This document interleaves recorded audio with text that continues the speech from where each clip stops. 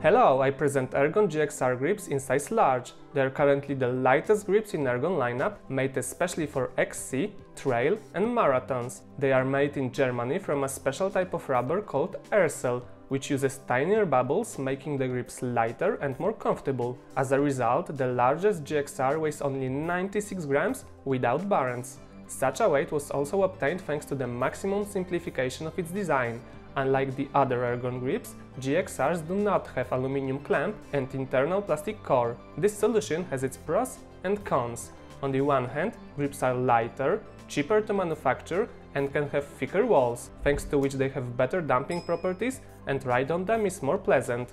On the other hand, they are difficult to install and set up.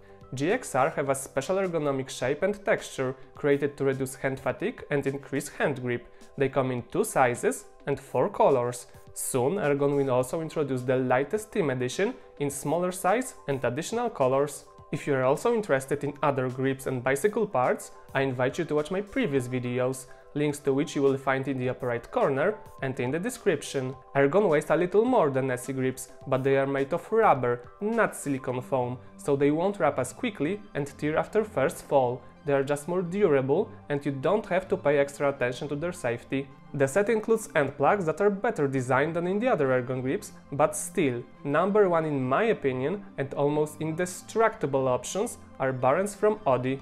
This is how GXR looks compared to the Ergon GA2 and Esculap 711R. Movie about them will be soon available on the channel.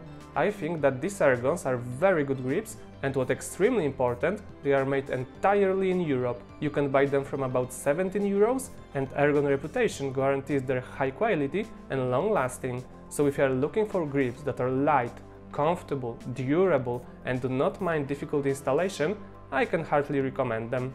Thanks for watching if you have any questions, feel free to write in the comments. And if you like the video, drop a like and subscribe my channel, where I publish new movies every Monday and Thursday. See ya!